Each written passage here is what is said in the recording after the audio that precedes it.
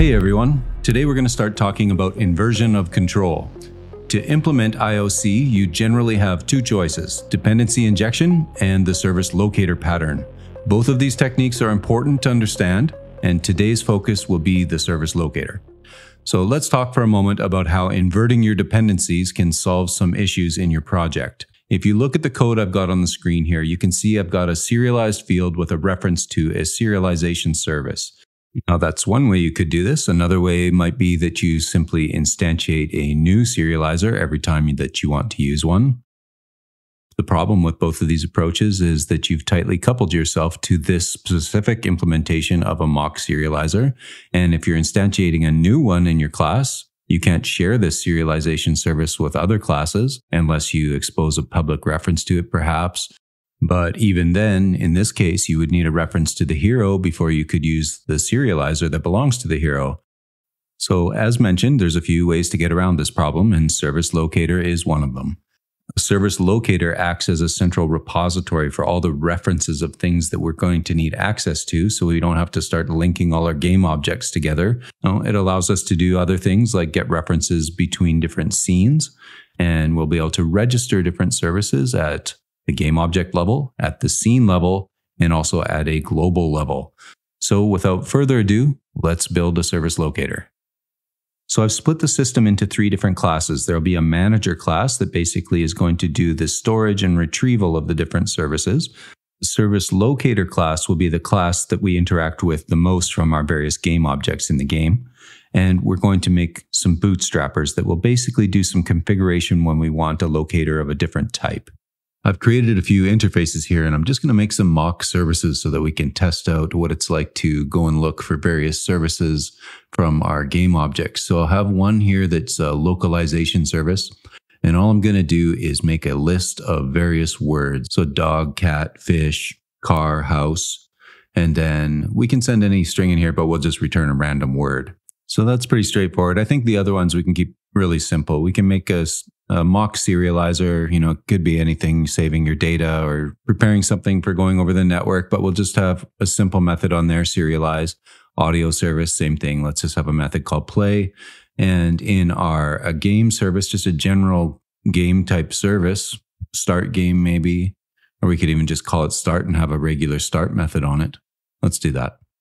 Our service locator class is going to use the service manager to manage all the service classes, the registration of them and the getting of them. So we'll set up a separate class here. It'll just have a dictionary to store all of our services. It's going to store them by type. And we'll create two register methods here.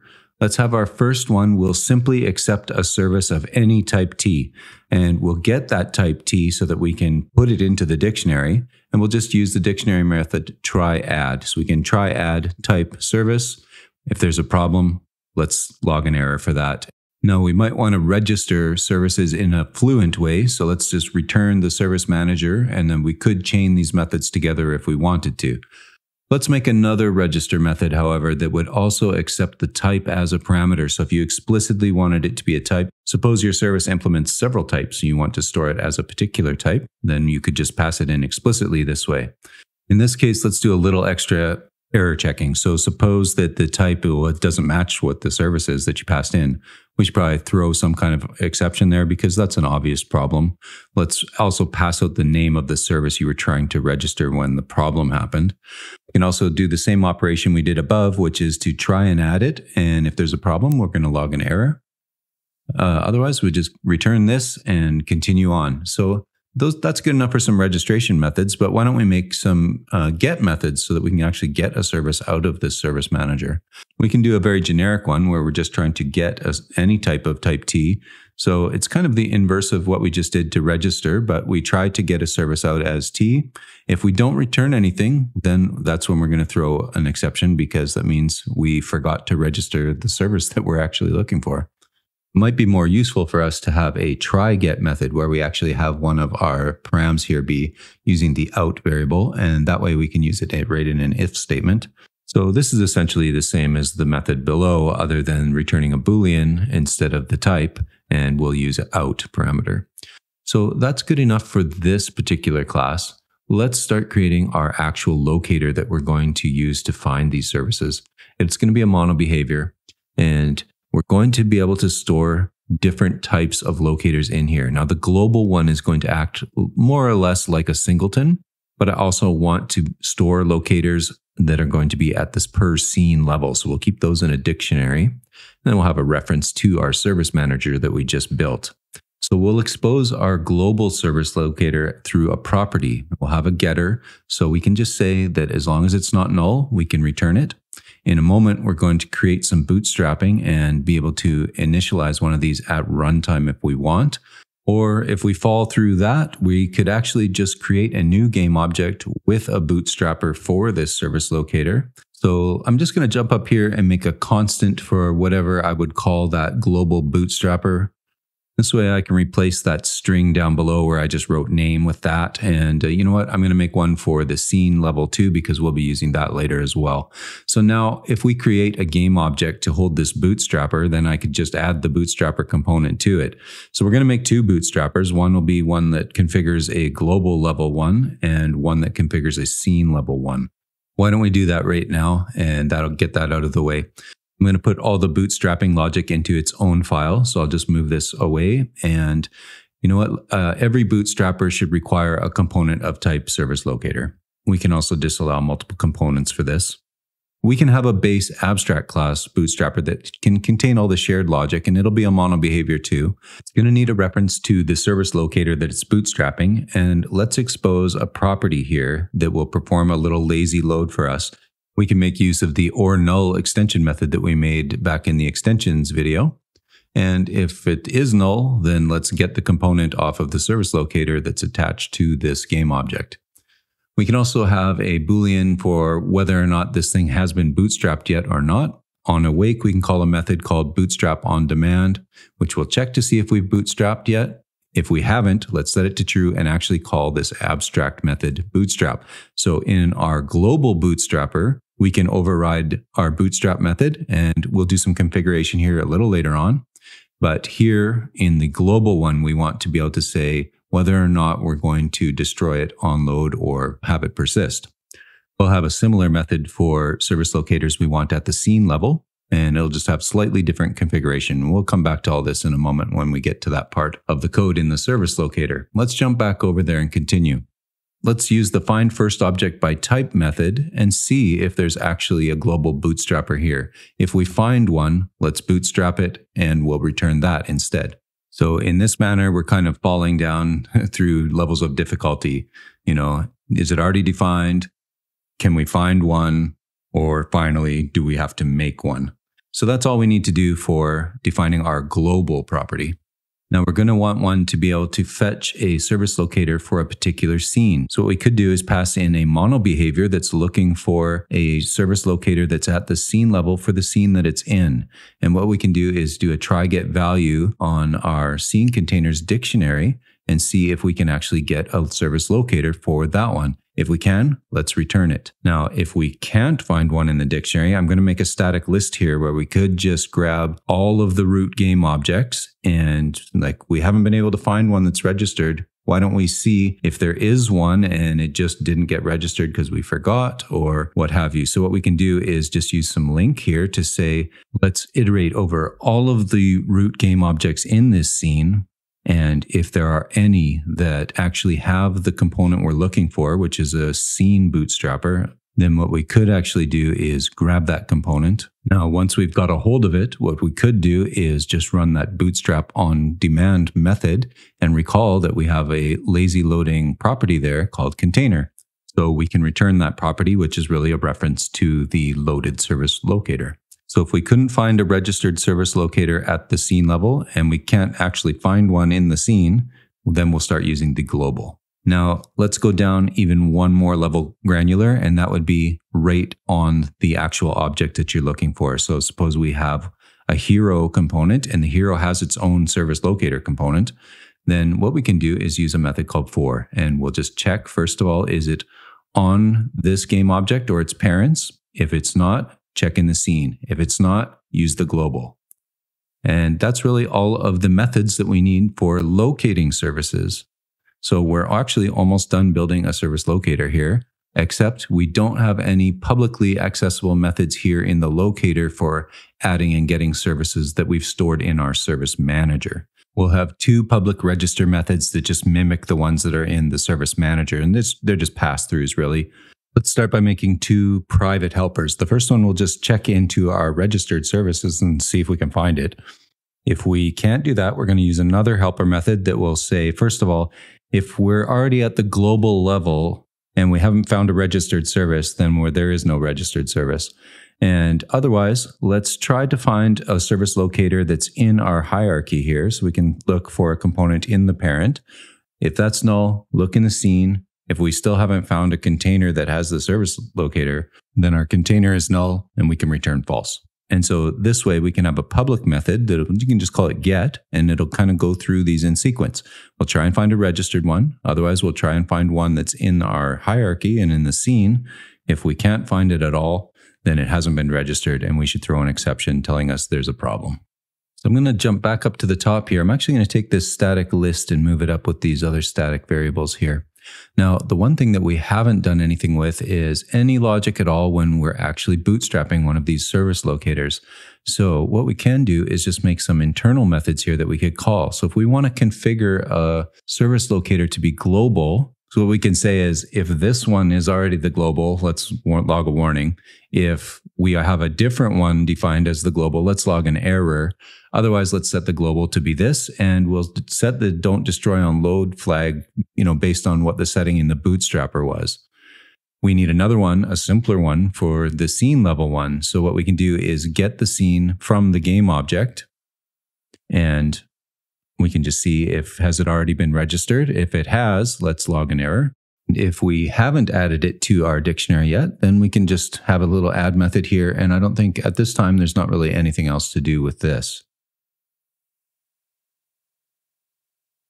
We can jump back over to the bootstrapper class. And what we can do is remove these comments now and just call these methods on the service locator class. We can also add a few methods in our service locator to make our lives a little bit easier here, just some menu items so that we could actually just use context actions to create some of these in our scenes.